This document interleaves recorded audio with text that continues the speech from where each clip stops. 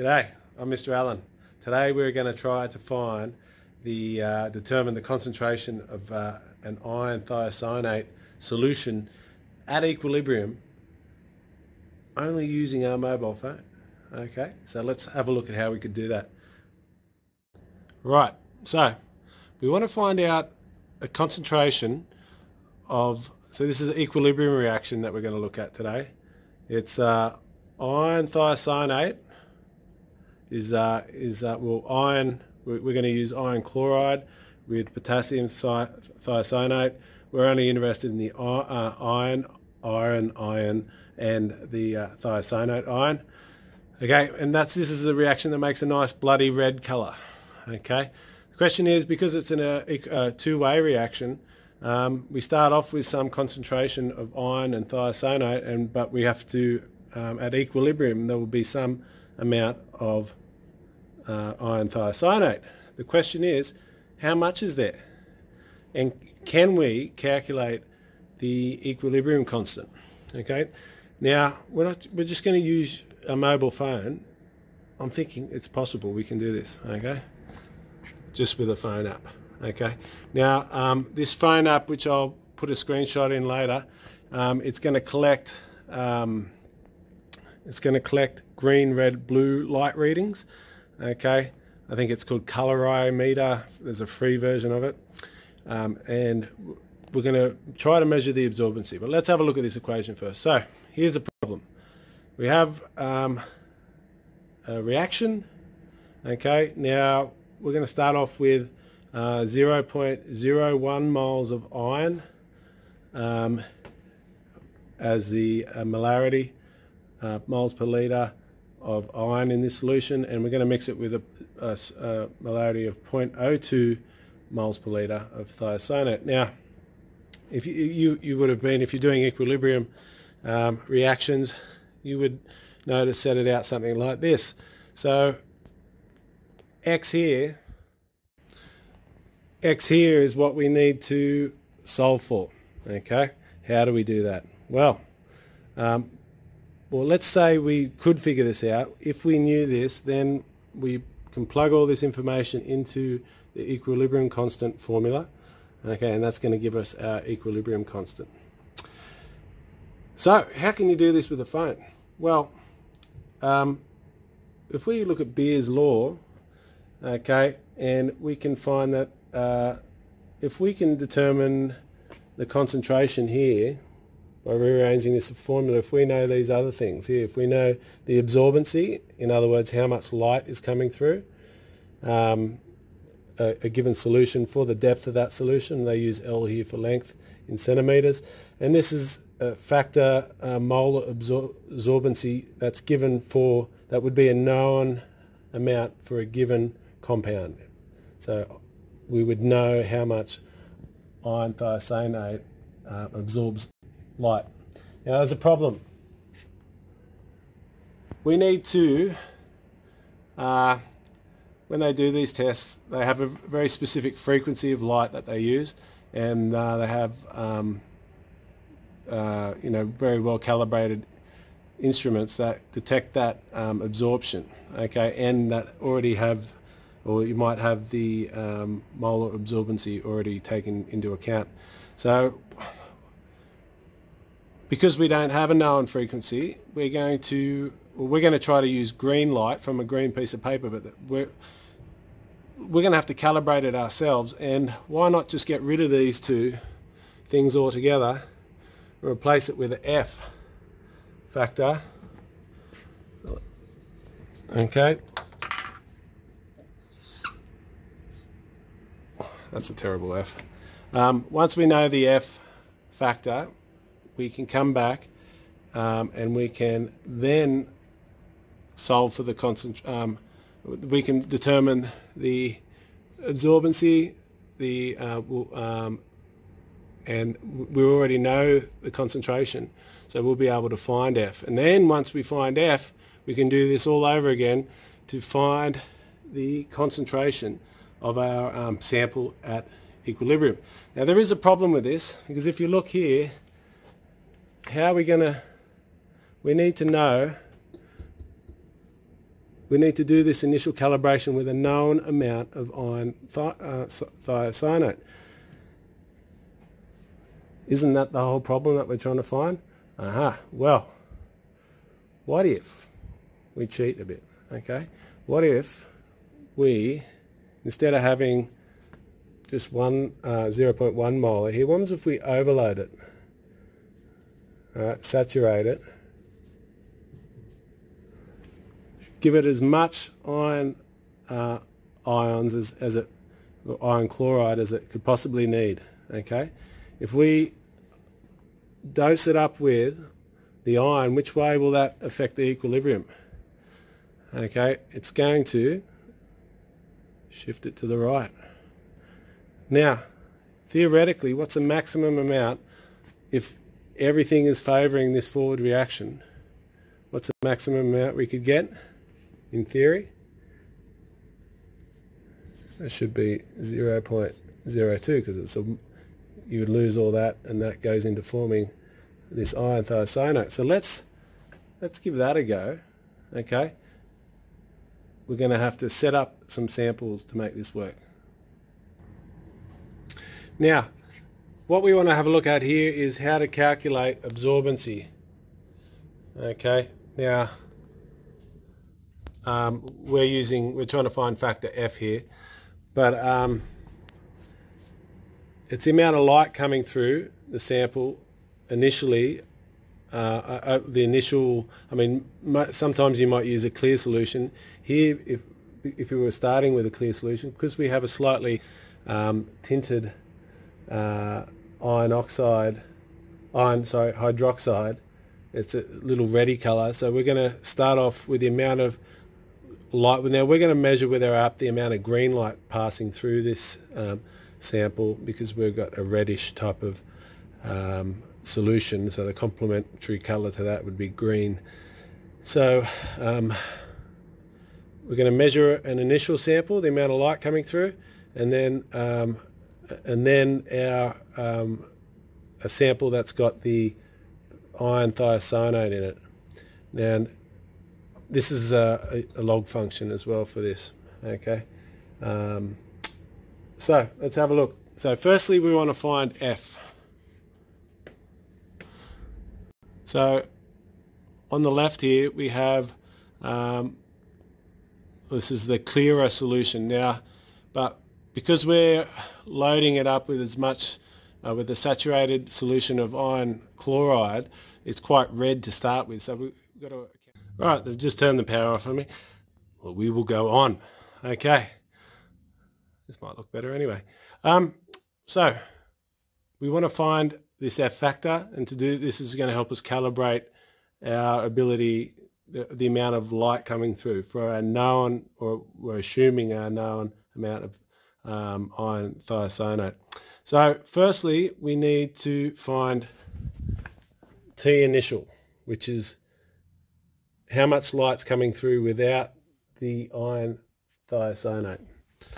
Okay, now I figure we better not put the whole saturated amount in because we're going to be mixing it later anyway with a clear solution. So let's put half amount in the test tube of iron uh, chloride.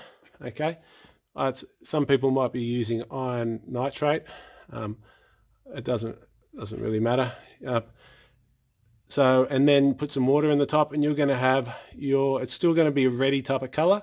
And we're going to measure some amount of green light coming through for that T initial um, um, sample. Okay, then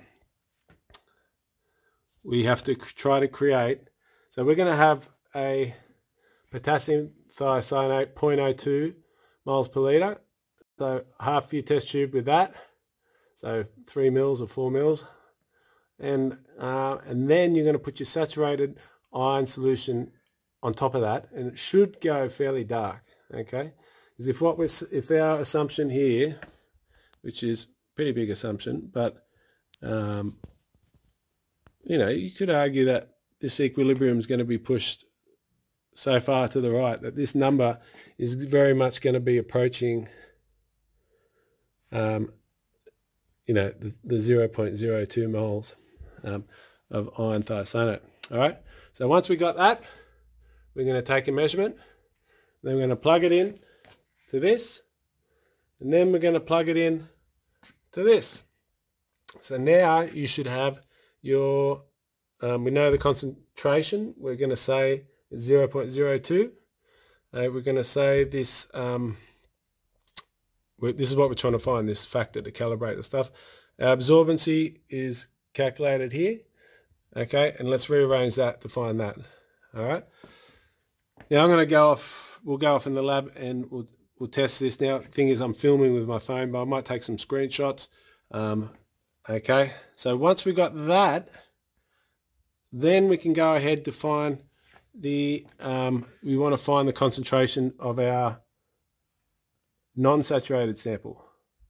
So again, we're going to have to, now you wouldn't want to use a dark red color to as your initial um, uh, sample because um, it's much weaker and, and it'll be darker than the uh, okay so but you do also perhaps don't want to use just water either there might be a slight tinge of the iron hydroxide okay so mix one sample up here for your initial T initial and then we're going to get our um, and this is going to be the sample we're going to try to determine the concentration of um, iron thiocyanate. So if you mix half with the iron and the other half with the um, thiocyanate, you're going to get, hopefully,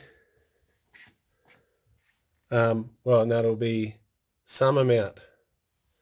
Okay, so we're going back to zero there, and we're going to have some amount of x. And then we want to solve for x. Once we get that x, now we can use our factor from the previous one. Now, um, so we'll use factor, um, we'll know the absorbency, and we can solve for concentration. And once we know concentration, which we're saying is x here, we can plug it in and find our equilibrium. Okay. All right, so we have our concentrated or saturated iron chloride solution. We have our 1 molar, uh, sorry, 0.01 molar iron chloride solution and our potassium thiocyanate solution. Okay, now I've already measured these out. And I thought of something else as well, perhaps just to really try to push this equilibrium as far to the right as possible if we put it in an ice bath, um, this will, this will, if you th think about the, um, uh, this is a exothermic reaction, so putting it in the, in the cold will push it to the right, okay? So this will maximize further what should already be very close to um, um hopefully, um, maximum possible yield. So, um, so with these two, we're going to measure the, the, the uh, F value, okay, and with these two, we're going to, using that F value, we're going to try to determine the concentration of this mixture. And that's the mixture of these two together, okay, in equal proportions. So, how are we going to do that? Well, Okay, check out our green screen. Okay, so we're going to bounce light off this green piece of paper and we're going to, um, let's try this first one, put it in there and then you can see that we are only going to, okay, now um, a certain amount of light, green light is going to come through this. So, um, now I can't film this next bit, but I'll take some screenshots of the values I get. Okay, um, and so that'll be the first one. And, and this is to find the K value. This is the, um, the saturated solution, half saturated half water uh, of iron chloride. Let's test that out. So this is the app, it measures red, green and blue light coming through. You can see we've got a number here of 160. So we're going to use that. Okay, so we've got a green value of 160. Now we're going to try this one. Now, I might just wipe this, try to get the condensation off it. Make sure it's dry. Might have to do this rather quickly. Okay, so this is as red as we can get it. Okay, uh, let's test it out. It's very important to sticky tape the box in place so the phone can be vertical when taking this reading and also so the box position doesn't move. Okay, so we got 72 as a reading for that one. Let's put this back. Right, so let's have a look at the maths for this. So this is to find f. So we've got the initial value okay, of, of green value on the phone coming through that solution of 160, then our, you know, we're, we're, we're saying that it's 0.02 molar iron thiocyanate. The green value coming through there is 72. So instead of comparing this to clear water, we're comparing it to an already red solution, although maybe we should, we might just test, hang on. No, there, there may be extra um, iron hydroxides in this. So we've got the the slightly tinged iron hydroxide and the as red as we can make iron thiocyanate. We put it in to our equation here. Okay, so this is transmittance. This is like the, uh, it's a log value because, well, anyway, it, it increases exponentially as you increase the depth of it. But um, so we get our formula. We plug that in using concentration and we rearrange. So F is equal A over concentration, A over C, and we get our factor here. This is like our calibration factor, 17.34. Okay, so we're going to use this now and because that's all these test tubes are the same size oh actually that could be something to take into account. Just noticing a slight difference here but for, the, for this purpose okay we'll say the same. Um, so everything is is is as we you know, so we're going to use this now to try to find the concentration of the other one. Okay. so we're going to use now, this is the 50-50 mix of these two, okay, as our uh, base. Alright, so you can see there, still a tinge to it. Let's um, take a reading. I'm doing this with the class earlier today the initial solutions uh, had some suspended particles, so it's a good idea to let them sit for sediment for a while. Okay, so we've taken a reading, and the uh, let's it was 162. Okay, now um, this is the concentrate, the final one. This is what we want to test. All right.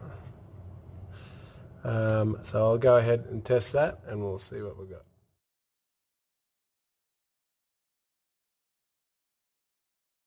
Okay, so that was just a little bit darker. It doesn't look like much is in it. That number was 158. Okay, so this was for the uh, unknown concentration of iron thiocyanate and 158 Alright, so let's do the maths. First of all, we've got we've got to find A. That's the log of 162 over 158.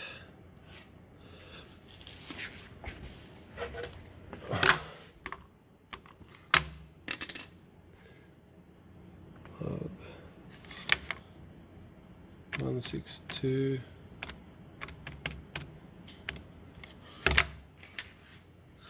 okay so 0 0.01085 uh, 6 let's round that up.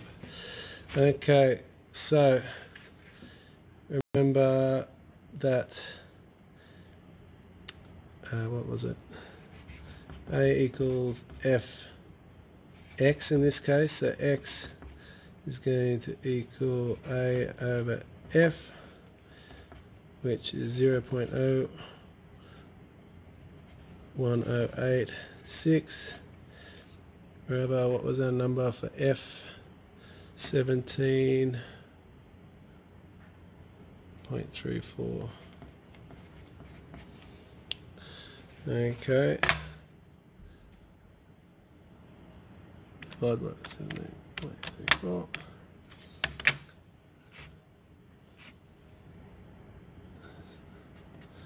So which equals, well that's not very much. There's an extra zero in that written answer there, but the calculation. So remember only starting with point oh one really theoretical maximum. Um, two, six. Alright, so that's the X number. Now we know this. Oh, okay, so KEQ is going to equal, remember that was the unknown X, and our initial concentration for the iron was 0.01 minus X 0.02 minus X. Oh, all right, let's dab it in. Oops, spilling stuff. Not good. Okay. Right.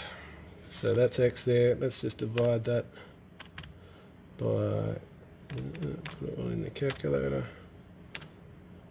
Answer times that 0.02 minus another one. Oh my. Alright, yeah, more accurate this time. Holy cow. Look at that. I thought it'd be a factor of 10. Or, well, I was hoping to get within a factor of 10. Look at that. You know what the KEQ for, for iron thiocyanate is? Woo! Pretty close. And that's what you can do with your phone and just a bit of green paper.